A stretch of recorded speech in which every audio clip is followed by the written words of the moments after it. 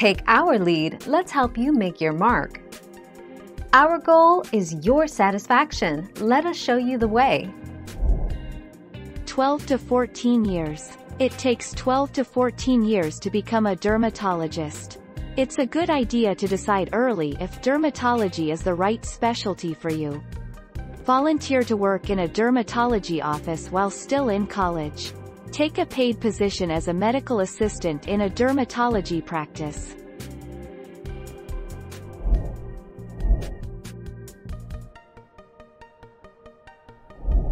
Let's help you make your mark.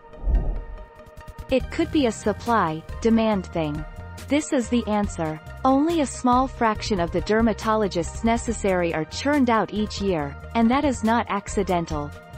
And most of their patients never get better permanently, and the vast majority don't die from their skin ailments. So it's a great repeat business field. Point 1 August 2006.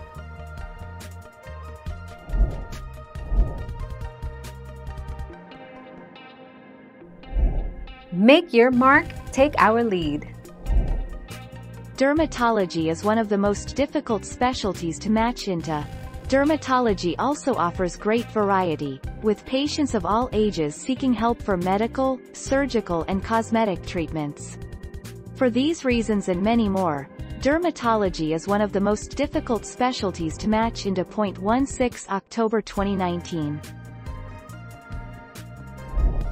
Thank you for watching. Please subscribe and hit the bell notification.